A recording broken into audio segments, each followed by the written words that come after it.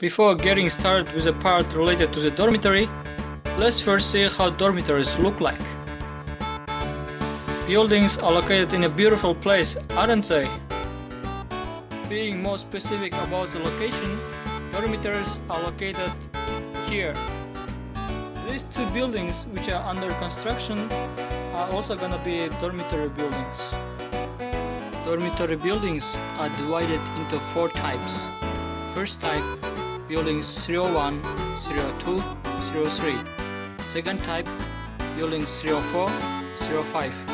Third type, buildings 06, 07. Fourth type, buildings 08, 09. What are the differences of these types? Generally speaking, each type has different kind of room and different price. You can learn about differences in detail in the following charts. Press pause button if you need.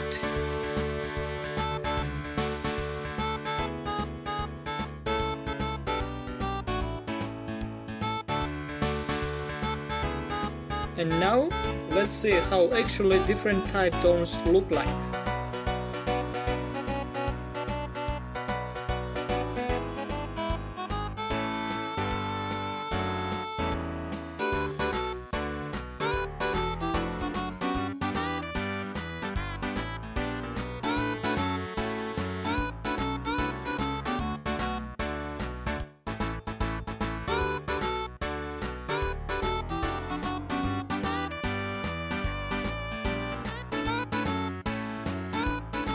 The purpose of the dorm administration office is to provide standards for the dormitory administration to handle application, allocation, move-in, move-out, sanitation tasks, assessment and rewards and punishments. The dorm office shall provide living regarding advices to students, produce dormitory administration plan, handle dormitory bed application and allocation, and monitor and assess students' behavior during their stay. You can contact anytime regarding dormitory related issues by the contact information.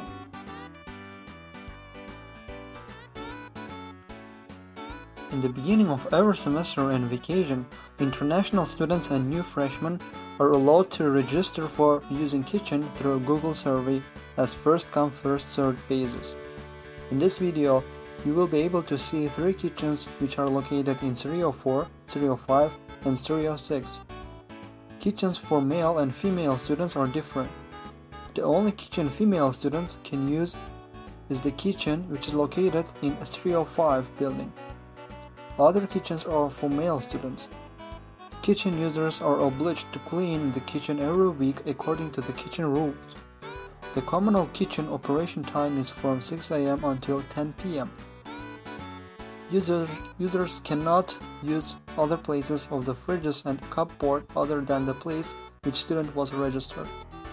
The dorm administration office staffs always check the kitchen regarding cleaning, user rules and etc. Breaking the rules can result in student residence penalty points. Hi dear freshmen, so this is a little bit uh, a little guide for you for the first days at UNIST.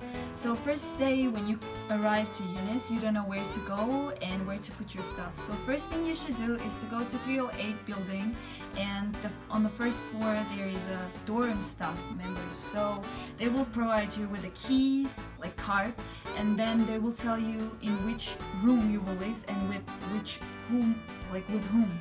And then after first week you will pay for your dorm and then you will pay an exact amount of money like we paid 145,000 won. These money are for water, uh, electricity and then air conditioner air and air heater.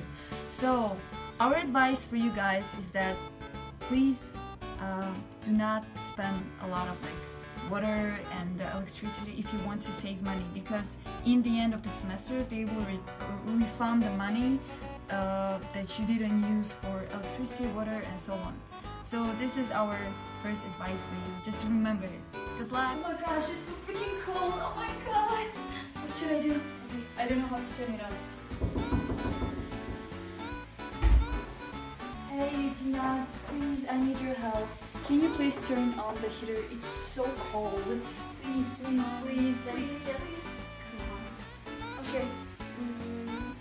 It's for turn on, and this is for water, and this is for flour, and this is for tomato. So can you turn on the, the heater for the room, please? It's so okay. cold.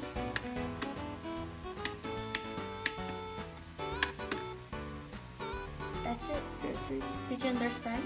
Um, yes. Thank you very much. Hello dear freshmen.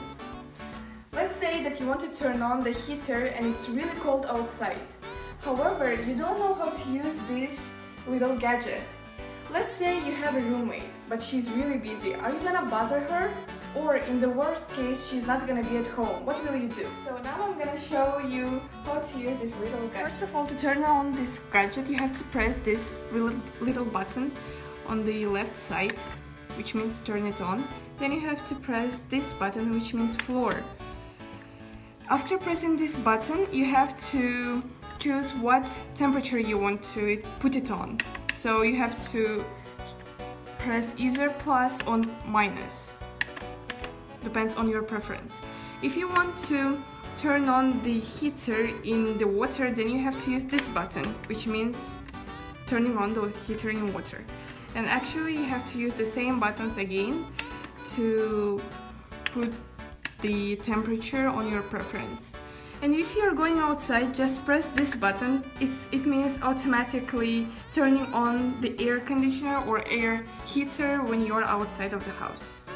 That's pretty much it. Imagine it's a hot summer, but it's May.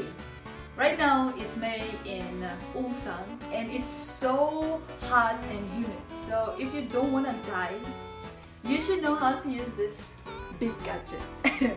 so the first step to turn it on is this the first button. So this first button means on, off. Ta-dam! And then you can control the temperature by using this two, like one button. So it's like up, you can increase the temperature or decrease. In our case, we're decreasing the temperature. And then this button stands for the power that we want to have, like like the speed of the wind that we need. So basically, that's it. What you need for this summer or spring, which is super hot. And we don't know what is this button, so we don't have to use it. Our Korean roommate said. So good luck, hi new freshies. So when you come to UNIST, you think that you should register for the dorm, but the UNIST has provided everything for you, so they already uh, have the list of the people with whom you will live, like your roommates. So for the first semester, you will live, uh, you will live in the dorm 303 or 301. So 301 is only for boys and 303 is mixed. And the first semester you will not be able to choose your roommate, so you will live with the person that the UNIST has decided for you. And then after the first semester, you will be able to choose your roommate and a dorm where you will be you will want to live.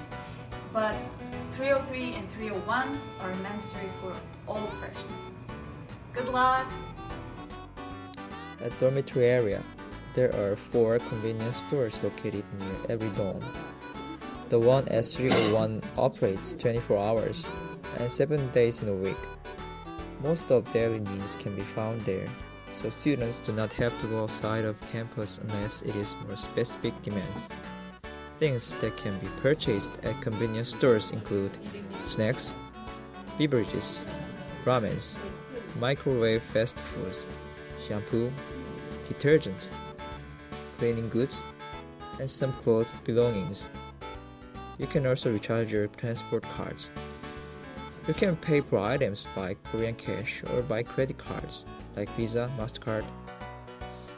Lastly, be polite and do not forget to sign after purchase. Billiard is located at first floor of building between dorms 304 and 305. Billiard room have one 8-ball pool and four 4-ball pool tables fee charged for every 10 minutes in amount of 1200 won. Time is recorded by clock near every pool tables, so be sure to push yellow button before starting using table and after. After your game, you can pay to cashier using cash or card. Dorm Library is located at the second floor of building between dorms 304 and 305. No reservation is needed to use it, and library is open all year long, 24 hours. One can use study slots and tables if it is free, but should obey common rules like being quiet and neat. Dorm 301 has TV room for all students, which is open 24 hours a day throughout the year. Students gather there to spend time together, watching TV programs and playing games. Commercial copier machine, sofas, tables and shelves with entertaining magazines and books can be found at the TV room. We can change TV channels with remote control if no one minds. Let me show you laundry rooms. Listen, first is location. There is a laundry room in each dorm building. We will show exact locations of them. Watch it. Did you memorize? Don't worry, they're usually in the ground floor of each building. Once you enter the laundry room, you can find washing machine, drying machine, detergent vending machine, and iron and rack. Awesome. This is brief how to use. Put your stuff into the machine before you put the money into it. This is important point. and make sure you close the door properly and push the button. There is no difference between buttons, so don't be curious. Actually, I've tried all of them. Believe me. Once washing is done, leave the door open. If you are to dry them in the drying machine, just use it in the same way. Put in your stuff before the money. You can get detergent and drying machine fabric softener from the vending machine. Another important point, they only accept 501 coins or 1001 gills for the washing machine and a 501 coin for vendor. If you want to use the iron, just push the red button. And that is the button. There is laundry service counter in 309 building. You will meet the laundry master. In here, you can do dry cleaning, ordinary cleaning, washing shoes, and mending your clothes. And they also keep your blanket during vacation. How fabulous. Just show your stuff to the master. Then she will ask you the money for it. That's it. What a deal. Next is English Commons. This place is famous for its hospitality and as a venue for various interesting events. Obviously, it is a suitable place for those who want practice speaking English. English Commons is just next to the entrance of 309 building. Here, you can meet new people and have a cup of coffee. And of course, you can use the facilities like big TV, board games, and cocktail machine. And almost every week, a variety of events is going on in English Commons during semester, such as carnival games and speed branding, Project Rone, this is not mistake, sorry, but this is real, and etc. Come here and have fun on campus with other Unistars, just like you. There are the three champions who are running this wonderful place, Robbie, Joseph, and Miss Kim. This is Robbie. Hello, this is Robbie from the English Commons. We'd like to see you here at Building 309. Actually, what I liked the most was the pasta. Beautiful pasta even for free. How cool. Never miss it. Even if you like pasta, but you still want something different, here's one option for you. The Unisnack. Unisnack is the small snack bar where you can grab some food and beverages with reasonable price either as eating or takeaway. This place is on the second floor in a tiny building between 304 and 305. The menus in here consist of rice cup with topping, green fruit, and fruity smoothies. If you're a Muslim, there are no other options but ice board topped with tuna and egg, or baby leaf and egg. And unfortunately, if you are a Muslim who doesn't like egg, there is no option at all. Well, still the smoothies will be fine though. If you want something, just say emo. You will see beautiful lady answering you. Then you can tell or point anything on the menu you like. They accept both cash and card. This place is open from around 10 a.m. till 11 p.m. So you are always welcome here. This is all I got for you. If you have any questions, just mail me jwc9202 at unist.ac.kr. Thank you.